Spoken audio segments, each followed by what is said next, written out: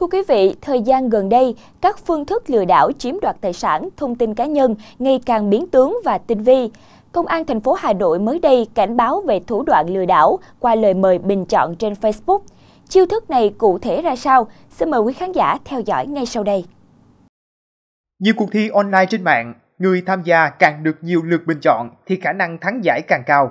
Nên nhiều người nhờ bạn bè người quen trên mạng xã hội tham gia bình chọn cho mình, cho con cái Lợi dụng việc này, các đối tượng đã tìm cách đưa những đường link giả mạo xâm nhập vào một tài khoản cá nhân và gửi lời mời bình chọn cho hàng trăm tài khoản khác là bạn bè người quen của bị hại.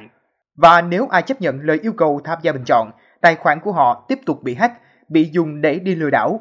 Các đối tượng sẽ lợi dụng vào những mối quan hệ như giả dạng bạn bè, người thân, đối tác để khiến cho nhiều người không mảy may nghi ngờ mà đăng nhập vào website, nhập các thông tin như tên đăng nhập và số điện thoại, mật khẩu Facebook. Đường link bình chọn trang web có giao diện rất chi tiết và y như thật.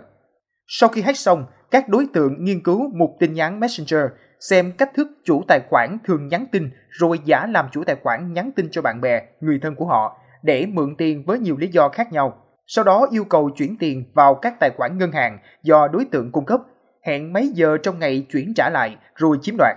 Không dừng lại ở đó, tin tặc còn lợi dụng nhu cầu bức thiết khôi phục tài khoản, chúng nhắn tin vào số điện thoại hay bình luận vào tin nhắn của Facebook cá nhân để tiếp tục lừa đảo. Nếu người dùng cả tin liên hệ với số điện thoại chúng cung cấp hay gửi giấy tờ tùy thân cho chúng thì coi như lại bị lừa thêm một lần nữa. Phòng An ninh mạng và Phòng chống tội phạm sử dụng công nghệ cao, Công an thành phố Hà Nội khuyến cáo người dùng mạng xã hội khi nhận được yêu cầu từ người thân bằng tài khoản mạng xã hội, cần phải xác minh thông tin qua việc gặp mặt trực tiếp, gọi điện thoại bằng số điện thoại được lưu trong danh bạ không kiểm tra qua các ứng dụng mạng xã hội. Tuyệt đối không nhập thông tin cá nhân vào những đường liên lạ.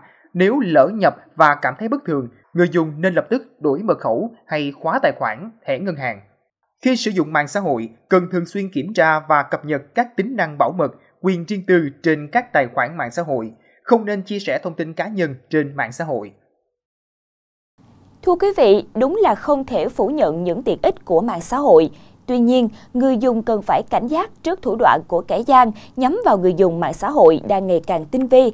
Hy vọng những khuyến cáo trong chuyên mục vừa rồi sẽ phần nào giúp quý vị cẩn trọng hơn khi sống trên không gian ảo.